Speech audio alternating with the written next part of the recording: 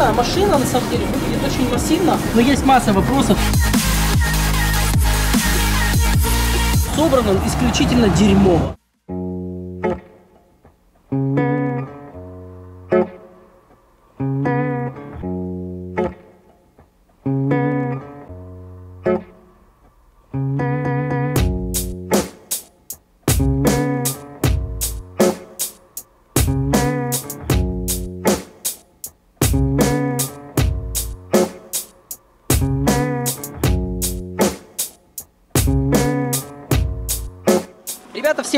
Я нахожусь в аэропорту города Харькова и прямо сейчас я буду вылетать рейсом Харьков-Лос-Анджелес, солнечную Калифорнию, для того, чтобы посетить, а, по моему мнению, один из самых интересных заводов, завод а, компании Резвани. Я думаю, что немногие из вас слышали об этой марке.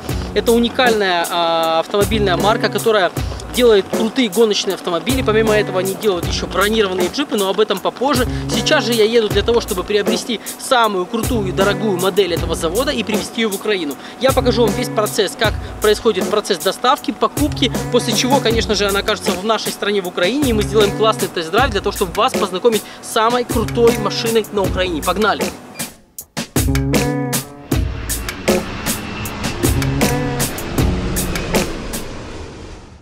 Оп! Хей! Ребята, вот я уже и в Лос-Анджелесе. 15 часов пролетело незаметно, я оказался в Америке.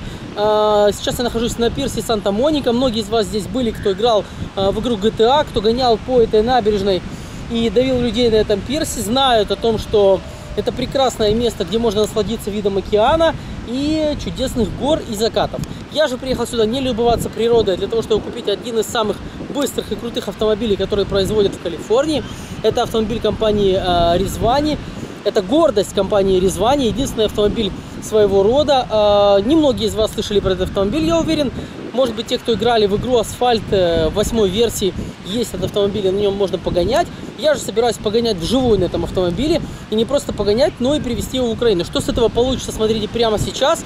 Попробуем его найти. Я думаю, что это будет непросто, потому что перед тем, как прилететь сюда, я написал кучу электронных писем в компанию э, Резвани для того, чтобы выяснить все же, где они находятся, где находится их производство, где находится их завод и где можно увидеть этот автомобиль. Отвечают они ни шатка, ни валка, поэтому сейчас я буду звонить и пытаться найти э, хозяина, либо представителя этой фирмы. Людей там работает немного, всего 6 или 8 человек, поэтому я думаю, что это будет непросто. Поехали! You stole my heart of gold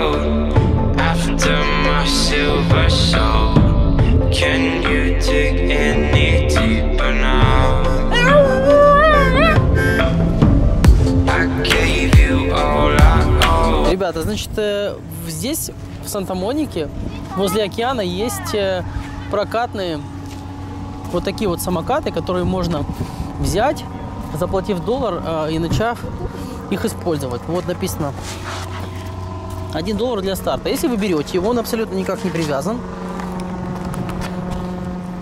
Если вы берете его для того, чтобы пользоваться и не платите, это делаю я, он начинает орать. Иногда по-китайски, а иногда вот так. Мало того, он начинает тормозить. То есть на нем нельзя ехать, он начинает тормозить, орать и всячески возмущаться, пока ты не заплатишь. Прикольная штука такая. Наверное, сейчас должна прибежать полиция меня арестовать. Но, в принципе, люди делают так. Оставляют кричащий и берут тот, который уже, так сказать, подготовлен к нормальной человеческой езде, как у нас это принято. С обрезанными проводами ты берешь нормальный самокат, который не возмущаешься, и пхнешь куда тебе надо. Ну, правда, э, силами своих ног, без батарейки, но все же. Или может он просто сел уже. И никто не возмущается.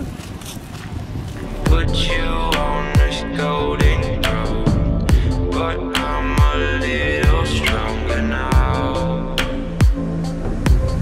You cashed in on my promises.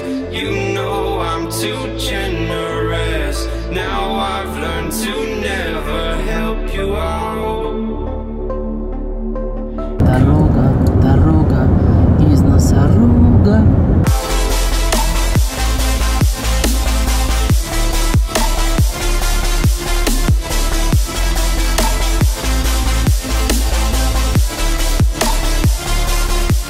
Ребят, по прошествию э, большого количества времени, объехав половину Лос-Анджелеса, наконец-то нам удалось созвониться с, э, создателем, вдохновителем компании Резвани, в принципе, и собственником а, этой компании, который нам сказал адрес, одну локацию, на которой мы можем пока увидеть не спортивный вариант а, их автомобилей, а танка. А, я думаю, что это не бронированная версия, мы только подъехали, поэтому сейчас, пока его нет и пока мы его ждем, мы можем осмотреть его вокруг и посмотреть, что же вообще это за зверь.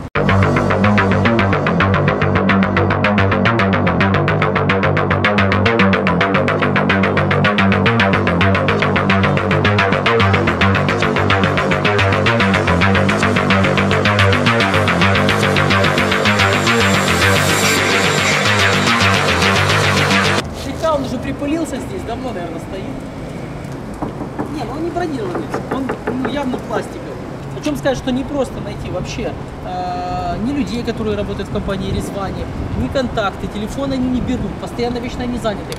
На сайте написано, что в компании работает всего 6 человек, а, что все делают они самостоятельно, что все делают они своими руками, собирают вручную.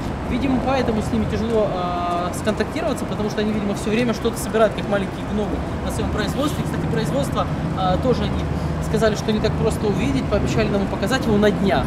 Я не знаю, если это получится, хотелось бы все-таки зайти посмотреть, как выглядит цех, где создаются эти монстры. Значит, э, автомобили эти оснащены э, двумя типами двигателя. Самый мощный вариант двигателя это 4.6 мотор с 701 лошадкой. Обычная версия не такая мощная, порядка 500 лошадиных сил.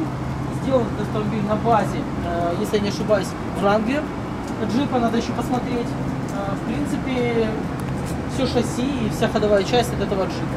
А, вот видишь, кстати, вот э, вверху есть светодиодная фара дополнительная. За нее, по-моему, они просят, если я не ошибаюсь, а, 2000 долларов. То есть вы можете на сайт, зайти на сайт компании Резвани и собрать э, лично этот автомобиль. Каждая опция этого автомобиля стоит дополнительных денег.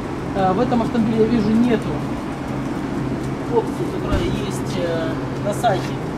Это выдвижной ножки, чтобы него было удобно залазить. С моим ростом это будет не очень удобно, поэтому ножка за 3,5 тысячи долларов, она не 3,5 тысячи, по-моему, 5 стоит.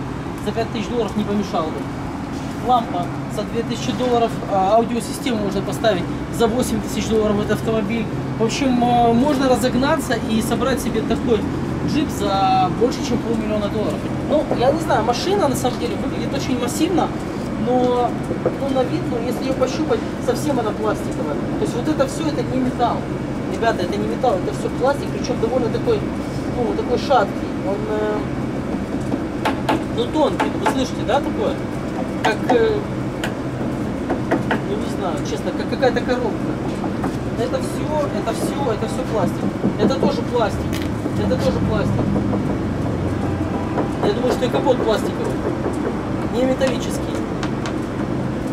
Странно, интересно. Такая машина вся пластиковая.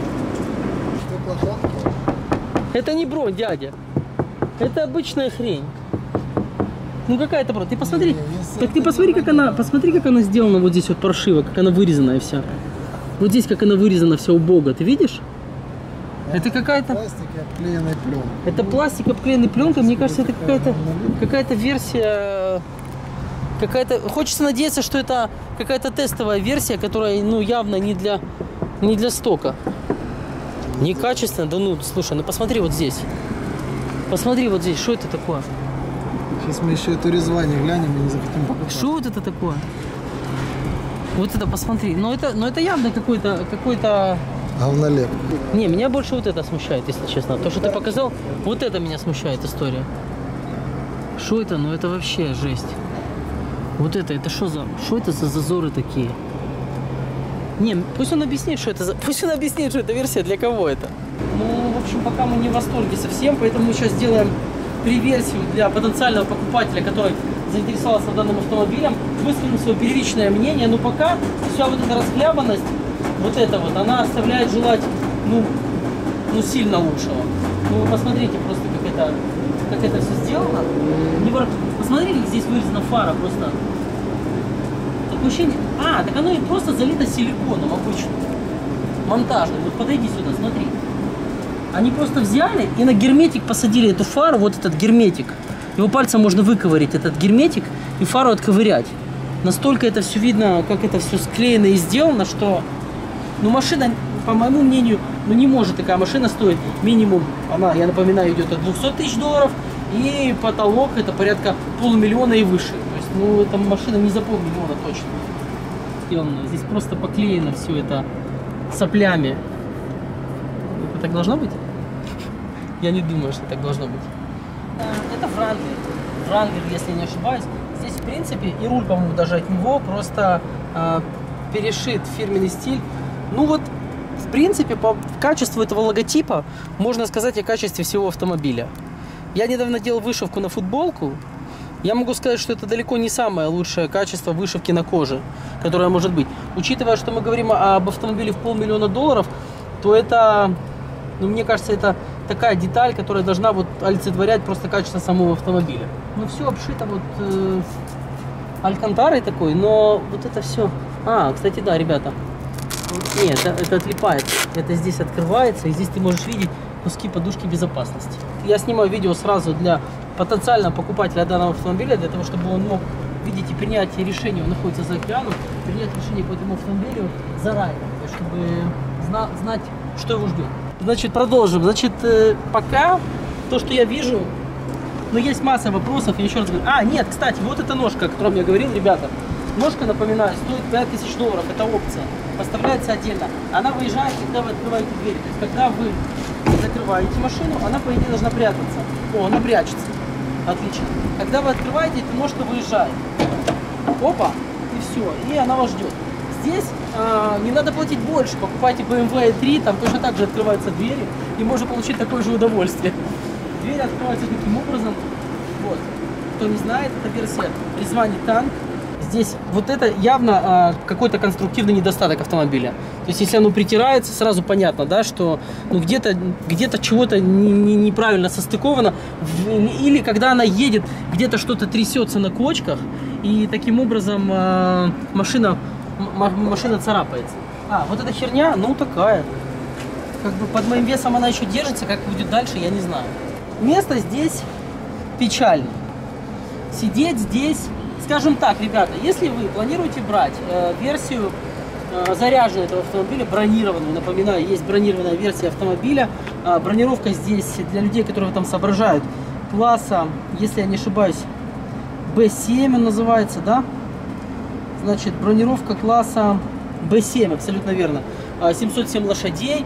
А, Ну, наверное, вы будете ездить, наверное, иногда с охраной. Охрана у вас будет, ну, наверное, чуть крупнее, чем я. Поэтому я вам могу сразу сказать, здесь она не поместится, потому что вот, при моем небольшом росте, я уже здесь убираюсь головой, здесь непонятно есть полка вверху. Э, Я вам ее сейчас покажу ближе. Я так понимаю, это колонка, наверное. Сделано все, ну, Здесь вот идет рама, вот э, ребро жесткости, то есть вот эта вот балка круглая, вот я засовываю руки, дальше идет крыша. Здесь все мягенько так, ну, ну, ну, чтобы вы понимали, это все напоминает мне ну, велосипед BMX. У меня был вот на руле такая штука, которая была, чтобы зубы не разбить, а, вот такая отклеилась, а там был поролон. Слышишь? А я, а я не прикалываюсь. Здесь реально такая же, как в BMX, здесь дальше поролон идет. Просто мягкий, чтобы ты голову не разбил об балку. Э, может быть, не будем дождаться этого резвания? Я думаю, что он уже не пригодится нам. Э, покажи людям, как выглядит вот эта косая история здесь. Вот, как э, здесь идет скос вот этот вот с этим э, оригинальным стеклом. Здесь обычный багажник. Здесь вот идет вот эти ребра жесткости, о которых я вам говорил. Вот, непонятно для чего, но такая конструктивная особенность автомобиля. От Вранглера осталось. Да, это от Вранглера, да, это его родные, наверное, Да-да, дуги. это Вранглер, который без крыши А, без идет. крыши, да. Мгм. То есть они даже это не срезали. А, ну, посмотрите, еще раз напоминаю, цену автомобиля, когда у вас создаются какие-то, когда у вас появляются какие-то вопросы, вы хотите задать, сразу вспоминайте, сколько стоит этот автомобиль и, в принципе, как он должен быть, быть подготовлен за такие деньги. Вот посмотрите, как это здесь все выглядит. Здесь явно, ну вот у нас, когда в Таврии, в Жигули сабвуферы вшивают, примерно вот делают так же. Берут полку из э, дерева, туда саб ставят и зашивают. Я боюсь сломать его. А что там внутри? Все, смотри, на саморезах, Дим. Ой, капец. Посмотри на саморезах вот это, вот это, саморезами все. Закрывает это все. Я думаю, что, Танк отменяется. ну, ребята, как-то так. Идем дальше. А, ну, что сказать по салону? Это обычная, это даже не кожа. Вот это точно не кожа. Это точно не кожа. Но это не может быть кожа, это дерьмо. Это не может быть кожей. Это не может быть кожей. Я... Я не верю, что она такая может быть ну, неприятная. Может и кожа. Да нет, с той стороны кожа. Ну какая-то не очень похожа на кожу.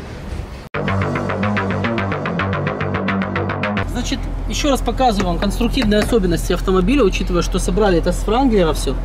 Вот здесь вот у нас есть промежуток между потолком и вот этой вот рамой, которая от Франглера осталась. Вот она металлическая, кстати, ее можно видеть в родном цвете автомобиля. Вот автомобиль был такого цвета, серенький. Она просто обшита вот этим куском пластика. И здесь есть основная крыша, которую придумал господин Резвани, и здесь ее внедрил. Вот, кстати, смотри, петля осталась родная, которая была от Франглера, правильно? От крыши натяжной, я так понимаю. Вот это была крыша, которая покрывала его, родная. Вот э, она осталась, ее даже не срезали. Вот, кстати, вот она, раз, два, и вот она, три. Смотри, вот эти три петли, которые... Ну, в общем, ну, я не знаю, честно. Что-то еще комментировать? Ну вот родные вот эти переключатели Врангеля, полный привод, который включается. Вот как здесь все это обшито вот такой вот дермокожей. А, вот это что такое под ногами? Ну вот смотри, вот это ограничитель двери. да? проводка, да. Шикарный, ну классно. Ну все, все, ты садишься, закрываешь. И зачем вот это у тебя здесь, вот это вот? Для какой цели вот это здесь? Ну, это так придумано. Это было такого Ранглера. Ну, это какое-то сомнительное решение, ну, я не знаю. Вот есть, кстати, УБДшечка, она идет к вам в подарок сразу, чтобы вы могли, чтобы вы могли сразу диагностировать автомобиль и готовиться к тому, что вас ждет. Вот это вот, вот это вот, вот. Э, Это, я думаю, даже родная часть Франглера. Здесь ничего не менялось. Вот это все, я так понимаю, родная часть. Вот эти переключатели, Джип. Подогрев. А, вот, пожалуйста. Джип написано, да, осталось родные наименования джипа. Подогрев сидений очень сделан. Ну, я не знаю, рассказать вам больше про эту машину, ну, только разочаровать, наверное. Может быть, она футуристичная. Давайте еще раз вернемся назад. Я покажу эту красивую стеклянную ляду, которая вызывает такой большой эффект вау. Автомобиль, кстати, имеет а, пробег 1349 миль всего-навсего. То есть это новый автомобиль, чтобы вы понимали. Значит, что в принципе в Резване самое вау, что в этом танке вызывает столько эмоций, это его вот эта задняя ляда, задняя крышка стеклянная, которую они придумали и сделали. Вот, кстати, обратите внимание, автомобиль, я напоминаю, 1400 миль прошел всего. Вот это дело все уже поржавело у него, все. Вот петли, смотри, все уже поржавели. Это, это петли, созданные ими, то есть это то, что сделали действительно они. Проводка тут она обязательно перетрется и может замкнуть. Да ну, посмотри, ну куда это годится? Эта машина новая, она еще, в принципе, она еще не вышла, она еще не ездила. То есть вот это все уже Да, ржавое. он, э, тут делают салон, как сказал вот этот чувак. Он, он, он салончик. Можем Салончик. зайти и заснять. А ну-ка, подожди, давай посмотрим, что здесь живет. То есть это запаска, я так понимаю. Да. А, ну здесь есть просто... Это, кстати, родное, Wrangler, да, да, родное. просто- Все, что выглядит более-менее прилично и работает нормально, это родное от Врангера. Все, что корявое и, ну, такое, ну, страшно взяться. Вот на саморезах, например, смотри. Вот саморезами просто они закрутили и привет. Это все господин Ничего Резвани создал. Ладно, давай посмотрим, как это закрывается. Меня сразу, когда... Секундочку, еще раз. Это холодильник, смотри. Смотри на это. Как это стекло сюда вклеили. Ну, в общем, холодильник. И вот это мне теперь напоминает уже не фирменный знак Резвани, а больше напоминает мне Ниву. Ни- у Ни- Волга. Нет, у, у Патриота. Вот А, у Патриота, да. Нива, вот. Как для Нивы, в принципе, это Для неплохой Патриота вариант. для неплохо, Патриота да. неплохой, неплохой вариант для машины. Ну, больше, чем... И выглядит хорошо. Да, больше, чем э, за дизайн похвалить Резвани, наверное, ну, больше не за что. Действительно, со стороны он выглядит неплохо и красиво, но больше... Короче, двух мнений после, после просмотра этого автомобиля у меня лично быть не может. Это, это хорошая игрушка, если к ней не подходить. То есть, если вы хотите иметь такую в гараже, чтобы э, ваши гости кайфовали от этого м, автомобиля и говорили, вау, у тебя классный джип, то лучше их не подпускать ближе, чем 3 метра. И тогда это действительно будет хороший автомобиль, и, Пять. и можно восхищаться. Но большего дерьма найти было сложно, честно.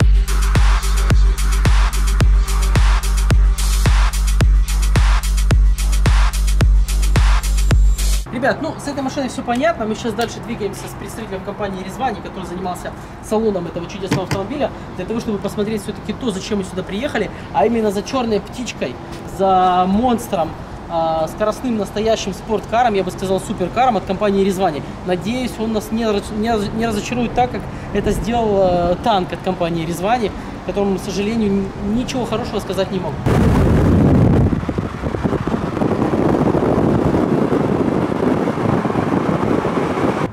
Приключения с покупкой машины Резвани оказались не так просты, как могли показаться сразу. Э, Очень долгое время ушло на то, чтобы найти, в принципе, место, где же производят э, автомобили компании Резвани, где находится этот загадочный мистический завод, на котором работает всего 6 человек, которые собирают эти автомобили. Очень много локаций мы поменяли, прежде чем, э, прежде чем нашли все-таки это место. Значит, сейчас мы находимся в Лос-Анджелесе, в месте, где находится самый эксклюзивный автомобиль города Лос-Анджелеса, как уверяет его создатель господин э, Резвани. Также он говорит о том, что это самый быстрый автомобиль, который наверняка э, мы могли бы водить э, в своей жизни. Так это или не так, вам предстоит это увидеть и понять сейчас, когда господин э, Резвани лично попробует этот автомобиль нам продать. Э, напоминаю, что автомобиль этот стоит 325 тысяч долларов и на сегодняшний день э, является изюминкой компании Резвани и позиционируется как э, самый быстрый автомобиль компании и самый эксклюзивный. Давайте посмотрим, что же из себя он представляет. О, да, детка. О, да. Hi. I'm Ferris.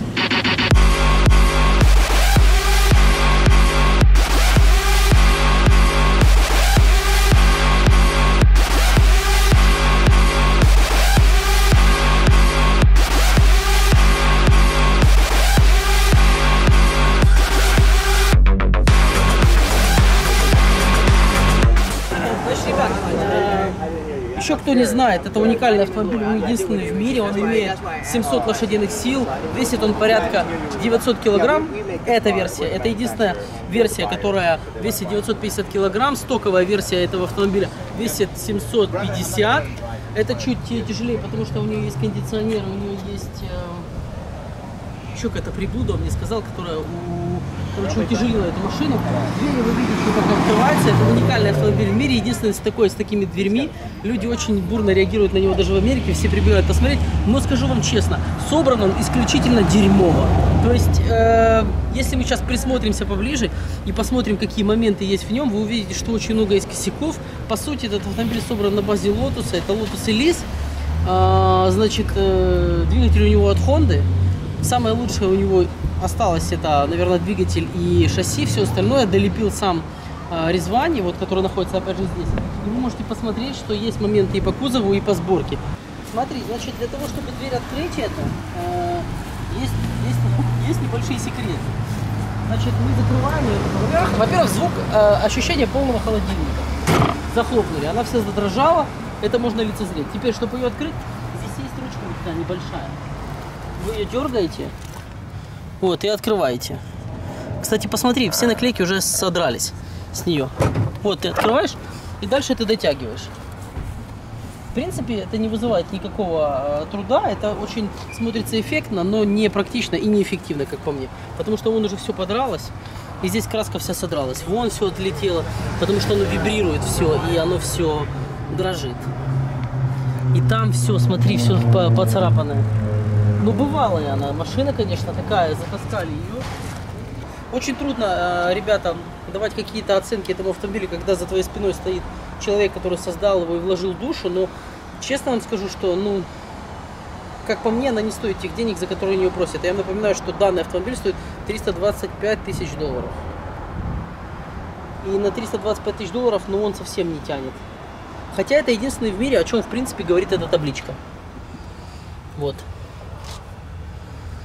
Э, ладно, что, попробуем сейчас э, завести машину, послушать двигатель, посмотреть, как она звучит с хондовским двигателем. Вот смотрите, вот сейчас он покажет вам, какой здесь двигатель стоит. Так, вот э, двигатель. Мгм. Я так понимаю, что если он держит эту штуку внутри, то а, она не, не- не сама не фиксируется, эта история. Тосковалась порядком. И я теперь понимаю, почему они не захотели высылать нам предварительные фотографии этой машины, потому что ну, она печальная. Ну не знаю, ну, ну у нее состояние такое бывалое. Вот здесь вот окошко у нее есть, где по идее должно быть видно двигатель, но его не видно. Потому что они переделали как-то вот здесь кузов, и не видно ничего. То есть это был раньше Lotus, и здесь было видно двигатель.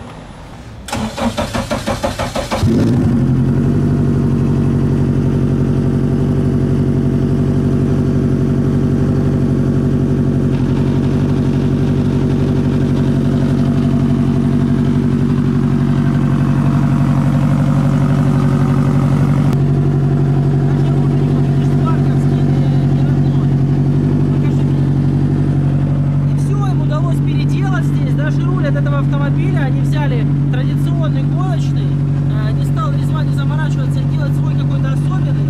И оставил э, спарковский такой, как он идет в стоке. Все остальное здесь тоже от лотуса, как вы можете видеть. Тот же ручник, все вот эти вот панели, это все чистый лотус. Начиная от старта автомобиля, от кнопок включения света, переключения на руле, кондиционера и прочего, это все чистый лотус. Поэтому вы просто, в принципе, платите за эксклюзив данного а, создателя, который опять же стоит за моей спиной, не более. Ничего особо эксклюзивного, кроме открывающихся дверей, вы не получаете в этом автомобиле. Честно говоря, даже нет желания особого на нем ехать, потому что ну, не вызывает он восторга при ближайшем рассмотрении. Ох, Честно говоря, голова у меня разболелась даже от того, как он работает. Э, Не знаю, э, пропало всякое желание лично у меня этот автомобиль покупать после того, как я его увидел.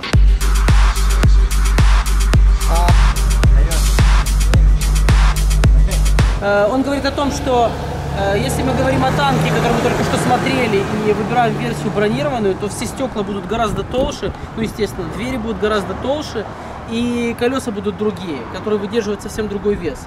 Но вы видели уже качество сборки этого танка. После того, что мы увидели, честно говоря, покупать его э, не хочется бронированный, потому что есть большие сомнения по поводу того, какое, э, какая сборка брони там все же будет, учитывая, что они даже пластик не смогли сопоставить достаточно ровно. Эм, Удивляется он, почему и откуда мы взяли такого клиента, который заинтересовался машиной Резвани в Украине. И, честно говоря, эта машина вызывает восторг у людей, которые видят ее двери. Вот эти уникальные двери, они действительно крутые и ну, они необычные. Хотя, ребята, она так закрывается, вот я уже прямо сейчас чувствую, как она цепляется э, низом двери об, э, об стойку об эту. И прям чувствуется, как это все происходит. О, вот так вот, да. О, и все, вы медленно открываете. Оп, вот сюда вот. Но сказать, что это происходит легко и классно, ни хера это не легко и не классно. Если бы это открывалось электрическим приводом, было бы гораздо интереснее, да? Но я думаю, что ему сейчас стыдно, вот он сейчас уже не хочет. Он чувствует, что Он она чувствует- выглядит... Он чувствует, что он загамнолепил Ну, очень. Ну, в принципе, э, если вы хотите подобного рода машину покупать, неплоха, то не но- прогадаете. Да,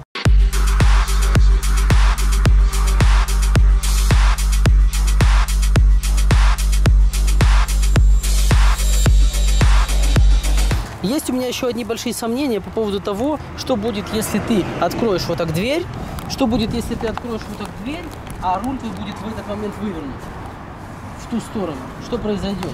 Здесь совсем небольшое расстояние. Что произойдет в этот момент? Ага. То есть надо перед тем, как вы открываете дверь, надо убедиться, что все-таки колеса ровные, и только потом можно открывать дверь. Я вам сразу говорю, это машина для наших реалий. Это в общем, вот эта машина сейчас принадлежит мировому чемпиону по кикбоксингу, которого зовут Rampage. И здесь мы находимся сейчас возле спортзала, где он занимается. Это по факту его сейчас машина. И если ее лично продает э, создатель этого автомобиля, у меня есть большие сомнения, что он продает это по собственной воле. Мне кажется, мировой чемпион по боксу просто поставил ему условие, либо, сука, ты продашь эту, блядь, вот этот тазик, который ты мне втюхнул, либо я тебя в спортзале похороню. Поэтому лично сам Резвани приезжает для того, чтобы показать эту машину и попробовать ее продать повторно вторым клиентам. Поэтому, ребята, делайте выводы сами. Э, В принципе, я рассказал показал вам про эту машину все, что можно было показать. Нету желания абсолютно у меня на ней кататься, потому что в Украине я имею возможность поездить на разных лотусах, а, в том числе и на и Элисе, на базе которого было создано это чудо техники. Поэтому, если вы хотите действительно драйвовых ощущений, вы всегда можете прийти в автосалон компании Lotus и попробовать покататься на нормальном автомобиле без всяких косяков.